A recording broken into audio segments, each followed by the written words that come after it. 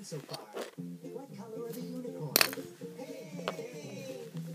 Where are they dancing? Rainbow! Please use one word to describe the texture of their magical fur.